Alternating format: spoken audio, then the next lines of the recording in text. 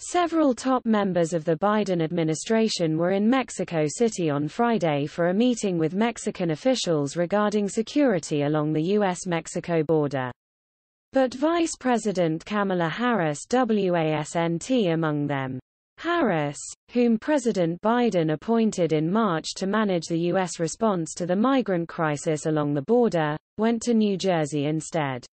Attending Friday's high-level talks in Mexico's capital were Secretary of State Antony Blinken, Homeland Security Secretary Alejandro Mayorkas and U.S. Attorney General Merrick Garland. Ken Salazar, a former U.S. Senator from Colorado who now serves as the U.S. Ambassador to Mexico, also attended.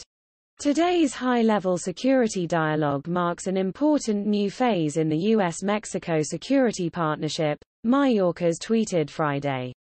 We will work together under a new framework to guide our joint efforts, and work toward our shared goals of security and prosperity for our two nations. Harris, meanwhile, traveled to the Garden State, visiting a daycare center at Montclair State University in Little Falls and a vaccination site at Essex County Community College in Newark to promote the Biden administration's agenda. The vice president last visited the border in June, spending several hours in El Paso, Texas, while on her way to her home in California.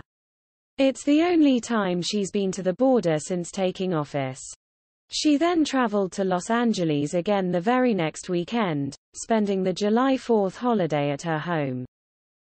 Harris has faced relentless criticism from Republicans, who say her avoidance of the border region has deprived her of valuable first-hand knowledge of border-related issues. Vice President Harris is ignoring the real problem areas along our southern border that are not protected by the border wall and are being overrun by the federal government's ill-thought-out, open border policies, Texas Governor Greg Abbott said in a statement ahead of her late June trip. Harris and her spokespeople have countered that she has focused on behind-the-scenes discussions with Latin American leaders regarding the root causes of migration, such as poverty and political corruption in countries such as Guatemala, Honduras and El Salvador. Likely in reaction to GOP criticism, Harris told potential migrants, do not come to the U.S. when she visited Guatemala in early June. She also raised eyebrows for faltering on questions asked by reporters about the border at the time. I haven't been to Europe. I mean, I don't understand the point you are making.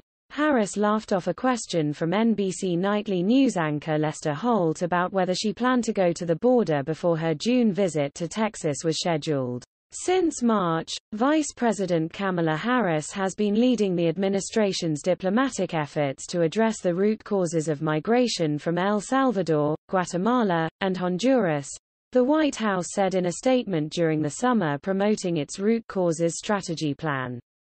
She has worked with bilateral, multilateral, and private sector partners, as well as civil society leaders, to help people from the region find hope,